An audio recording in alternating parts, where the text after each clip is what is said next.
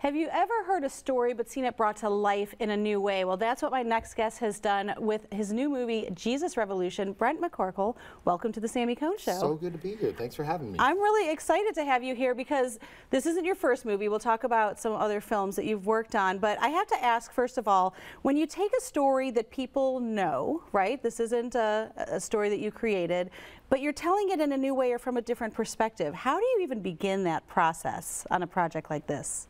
Well, some of you really have to hold sacred. You want mm. to honor the real story, but at the same time, you're tasked with telling a really entertaining version of that story, right. make it into a movie that works, you know, and all the acts have to hit and have the good breaks and everything. Right. So, so yeah, I think uh, this this one in particular, so much of it, what you would expect that we embellished or added little mm -hmm. things to, it's actually the stuff that you wouldn't believe is the stuff that's true. Mm. So we ended up using a lot of the real material, and you know it found its way into the movie. So I mean, we did not architect much around the the truthful elements of the movie on this one. Now, on some true stories, yeah. you have to you know move things around and change chronology sure. to make it into a good movie. But this just really wanted to tell itself and it fit into a, a, a, movie construct really effortlessly. Yeah, and I got a preview of it to okay. say, and I, I want to talk about something because I felt like, if I can say, some Christian films, if we can call us, have not been done maybe to the degree of what we would expect from a typical like Hollywood in studio sure. film. This was, I was really captivated. And I don't know if it's because I didn't grow up in the church or I didn't know much about it, but for people that maybe haven't heard of what the Jesus Revolution is or was, can you just give a quick synopsis of what that period in history was and why you felt compelled to tell the story? Sure, and I would preface that by saying, if you're not in the church, go see this movie. It, it really is cool, and I appreciate you saying that about yeah. just, it, it definitely feels like something that came out of Hollywood. And for sure. Lionsgate was a partner. Mm. Um, but this movie is uh, 1969 and our country is just in a dark, divided place. We had all the political assassinations. MLK is gone, JFK is gone, his brother is gone. We're in the Vietnam War. State troopers have just shot students at Kent State. Our yeah. own state troopers killing yeah. Americans on our soil. Yeah. Like tons of crazy stuff happening. Um, the Vietnam War. And everybody's just burnt out, and the kids eject out of society. They run away from home, become hippies.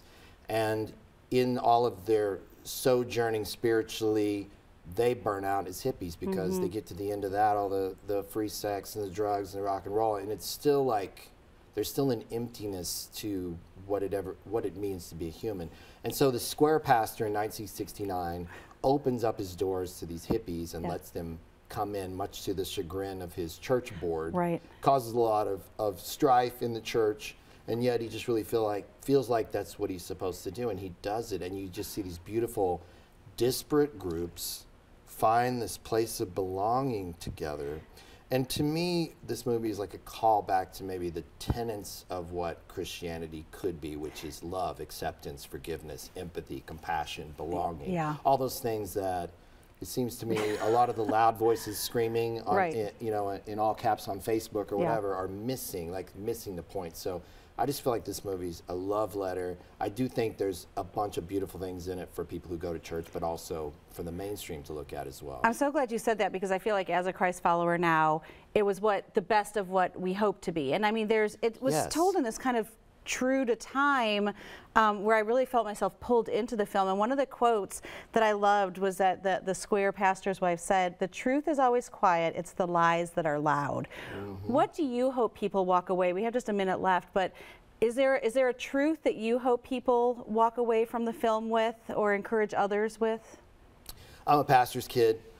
And all that implies, read the whole Bible when I was 18, and I've gone through this process of distilling my faith down almost to like what I believe, what I believe about it as a five-year-old kid, mm. and hmm. that is that God is love, mm. and God loves everybody, and no matter what you've done or where you've been, there's a place for you to belong, and you are safe in God. And um, like if you can wrap your head around those things, I really think the Christian religion can be very beautiful and it can be a place of love and belonging for people from all walks of life, irrespective of your beliefs. I think right now we're yeah. in this angry time of it people put their beliefs over love. Yeah. And it's like, it's got to be love forward. I know. There's so much more I want to ask you about, but let, suffice it to say, go see Jesus Revolution in theaters on February 24th. You can get your tickets now at jesusrevolution.movie. Kelsey Grammer, Kimberly Williams Paisley, so many great people. Make sure you check it out. Thanks, Brent. Thank you. Before I go, I need you to know God is there.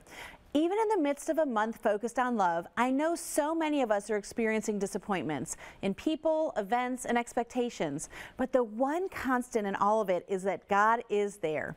Psalm 145:13 says, "The Lord is faithful to all his promises." When someone on this earth lets us down, which is inevitable, God will remain constant. Just remember, no matter what circumstance you may be up against, God is there. His love is unconditional and his promises endure. Be comforted that we never have to go through anything alone. He is here.